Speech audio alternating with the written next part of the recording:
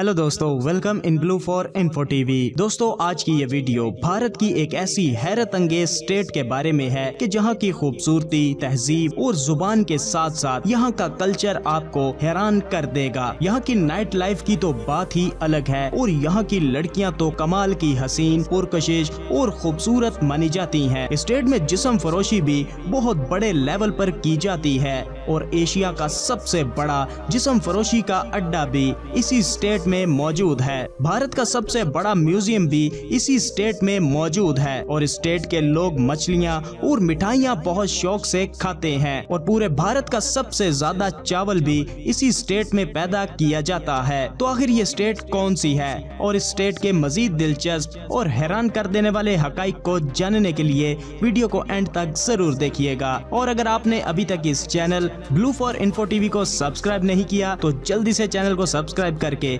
साथ bell icon को ज़रूर प्रेस कर दें ताकि आने वाली हर नई वीडियो सबसे पहले आप तक पहुँच सके। बरे आज़म साउथ एशिया में बसे हुए एक मुल्क भारत की ये खूबसूरत और शानदार स्टेट जिसका नाम वेस्ट बंगाल है। स्टेट का कुल रकबा अट्ठासी हज़ार सात सौ बावन मुरबा किलोमीटर है और रकबे के लिहाज से ये पूरे भारत की तेरहवीं बड़ी रियासत है। वेस्ट बंगाल की कुल आबादी तकरीबन 10 करोड़ लोगों पर मुश्तमिल है और आबादी के लिहाज से ये पूरे भारत में चौथे नंबर पर शुमार की जाती है वेस्ट बंगाल के पड़ोस में सिक्किम, ओडिशा, झारखंड और बहार जैसी स्टेट्स के साथ साथ नेपाल, भूटान और बांग्लादेश जैसे ममालिक भी शामिल हैं। वेस्ट बंगाल के दारुल हुकूमत, यानी कैपिटल की बात की जाए तो कोलकाता शहर यहाँ का कैपिटल और सबसे बड़ा शहर है वेस्ट बंगाल स्टेट की सबसे हैरानगी वाली बात ये है कि यहाँ पर पूरे भारत के मुकाबले भिखारी सबसे ज़्यादा पाए जाते हैं और आज भी यहाँ पर हाथ वाले रिक्शे का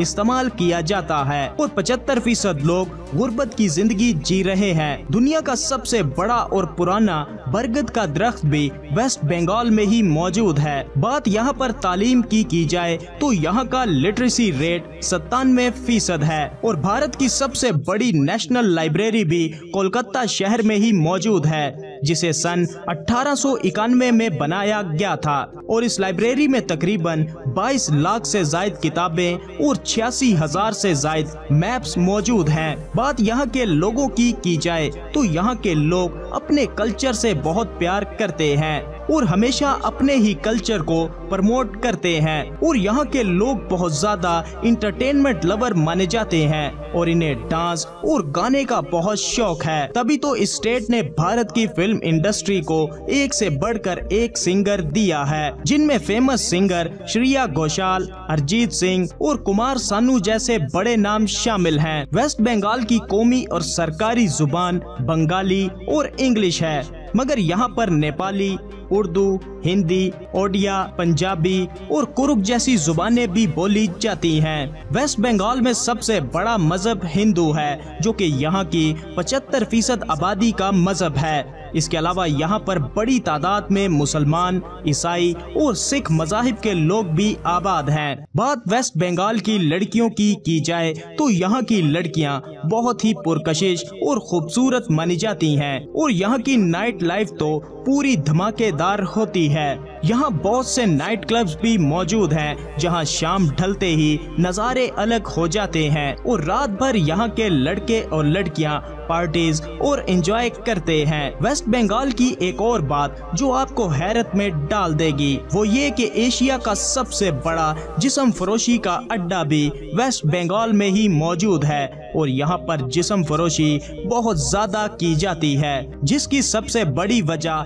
यहाँ की गुर्बत है और यहाँ पर कम उम्र लड़कियों से लेकर बड़ी उम्र की औरतों तक जिसम फरोशी का काम करती हैं। वेस्ट बंगाल भारत की सबसे ज़्यादा चावल पैदा करने वाली स्टेट है इसके अलावा सेब, अनानास और बहुत सी सब्ज़ियाँ भी बड़ी मिकदार में यहाँ पर उगाई जाती हैं। वेस्ट बंगाल अपनी हैंडलूम और टेक्सटाइल मसनुआत की वजह से भी बहुत ज़्यादा फ़ेमस है। वेस्ट बंगाल की साड़ियाँ तो पूरी दुनिया में फ़ेमस हैं। वेस्ट बंगाल में क्राइम रेट भी थोड़ा हाई है। और यहाँ पर कत्ल जैसी वारदातें बहुत आम है। और ह्यूमन ट्रैफिकिंग जैसा काम भी यहाँ पर बहुत आम है। वेस्ट बंगाल में साल भर ही बहुत से मजहबी त्यौहार मनाए जाते हैं। इसीलिए यहाँ पर हर तरफ़ रौनक नज़र आती है। खाने पीने के मामले में भी वेस्ट बंगाल पीछे नहीं है। यहाँ के लोग मिठाई में रसगुल्ला बहुत शौक से खाते हैं। इसके अलावा यहाँ के लोग मछली से बनी तरह तरह की डिशेस को भी बहुत शौक से खाते हैं। वेस्ट बंगाल एक खूबसूरत तरीन जगह है और यहाँ पर टूरिस्ट के लिए बहुत कुछ मौजूद है, जिनमें सबसे पहला नाम सुंदरबन जंगल का आता है और इसी जंगल में रॉयल बंगाल टाइगर भी पाया जाता है और यहाँ पर आप जंगल सफारी के मज़े भी कर सकते हैं। इसके अलावा यहाँ पर बहुत से नेशनल पार्क्स भी मौजूद हैं, जहाँ पर आप एडवेंचर्स के मज़े कर सकते हैं। इसके अलावा बहुत सी तारीखी मुकामात टेम्पल्स और जू भी यहाँ पर मौजूद हैं। वेल फ्रेंड्स वेस्ट बंगाल एक बेहतरीन जगह है और यहाँ का हर रंग ही निराला है और यहाँ पर बहुत कुछ देखने लायक है। साल भर पूरी दुनिया से टूरिस्ट वेस्ट बंगाल में घूमने फिरने के लिए आते हैं। तो दोस्तों, कैसा लगा आपको वेस्ट बंगाल वीडियो को लाइक और कमेंट करके ज़रूर बताइएगा। मिलते हैं किसी नई वीडियो के साथ। तब तक के लिए खुदा हाफिज।